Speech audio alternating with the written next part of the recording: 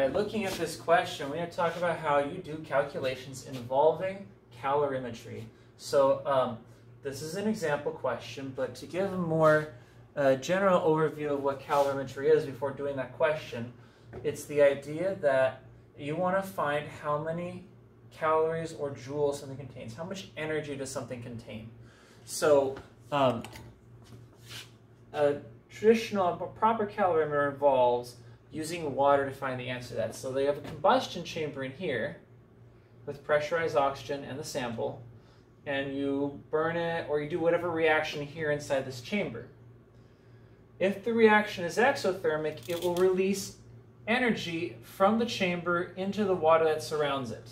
And the stirrer keeps it all evenly mixed so that you can get an, ac an accurate measurement of what's going on in there. If the reaction is endothermic, it will suck energy out of the water, causing the water to get colder. And of course, if it's exothermic, it will release energy to the water, causing the water to get warmer.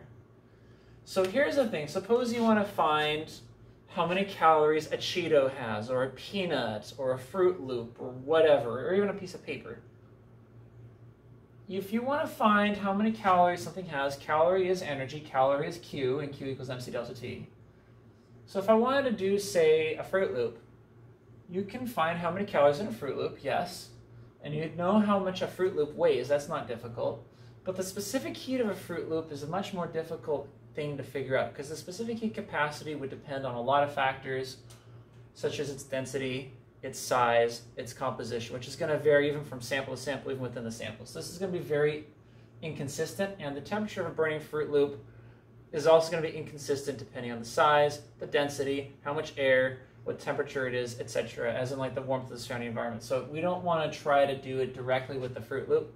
What you do is you put it in here and burn the Fruit Loop, allow it to release the energy to the water, and then run on a particular assumption. We're going to say, however much energy, whatever you're measuring, in case this example, maybe the Fruit Loop releases, maybe however much energy the Fruit Loop releases, the water must gain.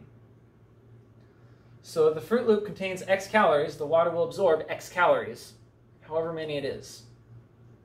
If the Fruit Loop has 1,000 calories, the water will absorb 1,000 calories. If the Fruit Loop was 1 calorie, the water would absorb 1 calorie. The idea being, we'll use water to figure out how many calories were in the thing that we're measuring.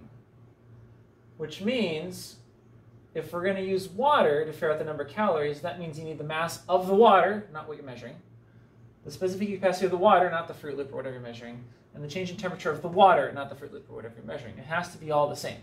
So if you want to find how many calories are absorbed by the water, you got the mass of the water, specific heat capacity of the water, and the change in temperature of the water.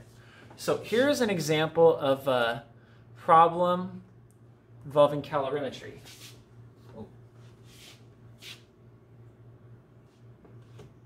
In this case, it's a piece of paper. It could be anything, but uh, okay, a piece of paper is burned inside a calorimeter. Okay, think that one thing that we just looked at a picture of. That's a calorimeter. Um, that cal. So actually, let me back up and say that means we put a piece of paper in here and we burn it. And burning is exothermic, so that paper is going to release its energy into the water. What that means is, however many calories or joules were in the paper have now been absorbed by the water, so we're going to find the answer using this equation with the mass of the water, specific heat capacity of the water, and changing temperature of the water. So there's Q equals mc delta T. So let's do that. Let's find how much, how much energy was um, released by that piece of paper. Now it, uh, if we want to find Q equals mc delta T, we got to say Q equals the mass times the specific heat capacity delta T of the water. So the mass of the water is given right there. 2,216 grams of water times, what's the specific heat capacity of water? It's given in your reference charts, 4.184 joules per gram degrees Celsius. Again, that's given your reference charts, you'll never have to memorize that.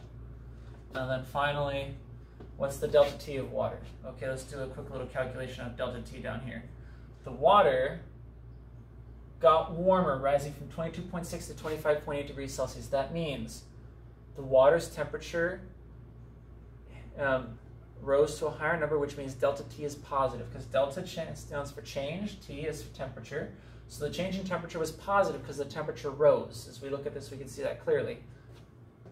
So uh, let's see, 25.8 degrees Celsius minus 22.6 degrees Celsius equals, uh, let's see,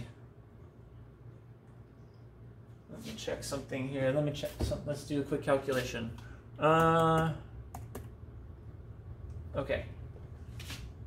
Plus, well, a gain of 3.2 degrees Celsius. It's definitely not negative. Okay, so um, what we're going to say then, this is what goes right here. Now, notice when we do the math, if we're going to times this all out, grams cancel grams, degrees Celsius cancel degrees Celsius, leaving only joules as the answer, and it is on top. So the final answer to this one is, let me check uh, what I have in the reference material, it's 29,670.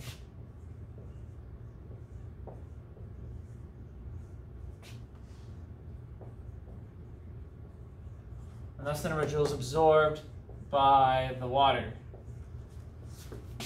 Okay, so um, thing to mention here. That's not what the question was asking. Because if you use the mass of the water, specific capacity of the water, and the um, temperature change of the water, you're getting joules absorbed by the water. But it didn't ask for joules absorbed by the water. It asked for joules absorbed by the reaction. So this is not the answer. So we have to understand that you have the reaction happening inside the water.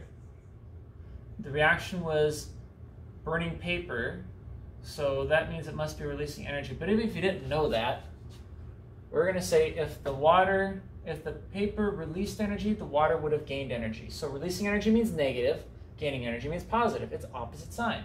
So if this, if the water had positive x calorie or joules for the reaction, it must have been the opposite, negative x number of joules. Or even if it was endothermic, it'd be the same idea. If it was an endothermic reaction, the energy gained by the reaction would be equal to the energy lost by the water. So if the water, if the reaction gained X number of joules, the water must have lost X number of joules. So whatever it is, it doesn't matter, exothermic or endothermic, it really doesn't matter. It's opposite. It's opposite signs. So if the water gained energy the reaction must have lost energy. Had the water had a negative sign, our answer would have a positive sign. If, our, if the water has this positive sign, that means our answer must have a negative sign. So if that's absorbed by the water, then that means negative 29,670 joules for the reaction. That's my favorite little abbreviation for reaction. Now, the last thing to mention about that is uh, if we're going to be rounding for, if we're going to be um, putting this in scientific notation as we should, because that's way too big a number to just write as a regular number, that becomes 2.967 times 10 to the fourth joules. We'll leave the negative sign there.